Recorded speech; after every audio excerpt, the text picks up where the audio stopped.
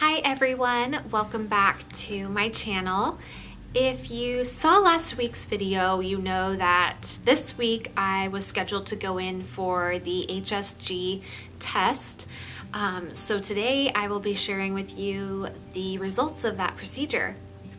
Before I get into the results of that test, I wanted to let you know that I will be sitting down and doing a full in-depth video about the HSG procedure and my experience with it. I'll be talking about step by step how the procedure went and just kind of like my my experience with it and my pain level and and what you can expect during that procedure if you might be going through it too. So make sure you are subscribed to my channel, that way you do not miss when I publish that video.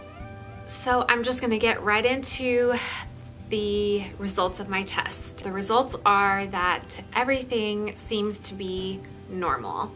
Um, the doctor said that my uterus, uh, the uterine shape is normal and that both of my tubes are open and clear. So we officially do not have any explanation for why we're struggling with infertility. And hearing the words again, unexplained infertility is just, it's a really, really hard pill to swallow. I am grateful that my uterus and my fallopian tubes seem to be healthy and normal, but at the same time had something abnormal showed up with the test and if one of my tubes wasn't opened or my uterus was not shaped as it should, that would have at least been an answer and a reason as to why we're struggling with infertility. And having the doctor tell me that everything looks clear and good and great just left me feeling very frustrated and really confused. I just, I cannot help but keep asking like why, if everything with John is healthy, if his swimmers are swimming as they should be and they are normally shaped and there's plenty of them as there are and my uterus is apparently normally shaped and my tubes are open. Why aren't we getting pregnant?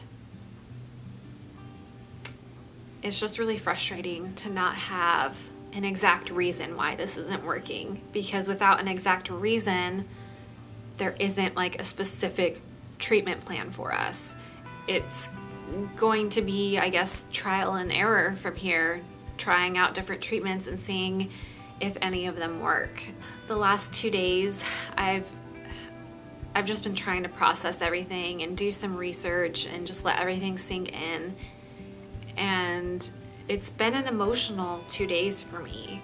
I just, after the appointment, I felt completely overwhelmed with emotion, with frustration and confusion and anger, and I have cried so much. in the last two days, which I'm gonna start crying again. I just wish we had a reason why, and we don't. And it's just frustrating. So anyways, next Friday, I have an appointment with the reproductive endocrinologist to talk about the next steps and they're going to let us know what they think is the best course of treatment for us at this time with everything that they've gathered from our testing.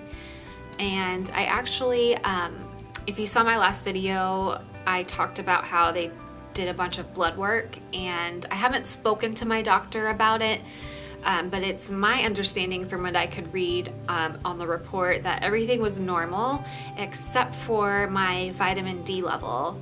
Uh, my vitamin D level was really low. I'm assuming they're gonna probably want me to be taking an extra supplement of vitamin D. Um, but like I said, I haven't talked to them, so I don't know that answer for sure. Um, but as far as the next steps go, I, I won't know for sure what the recommendation is until my appointment next week.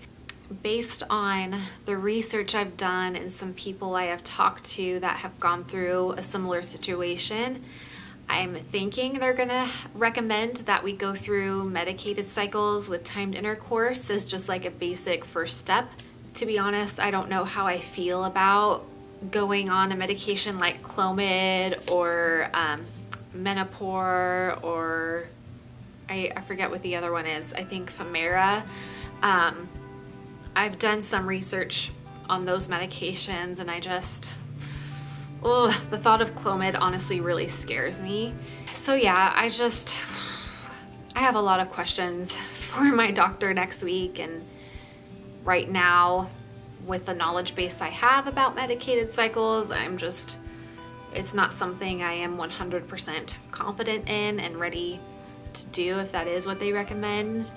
Um, so if you have gone through medicated cycles and you've had success, or even if it hasn't been successful, please comment down below and just let me know what your experience was. If you have any advice for me as far as, um, you know, questions to ask the doctor, I would really appreciate um, any advice you can give me.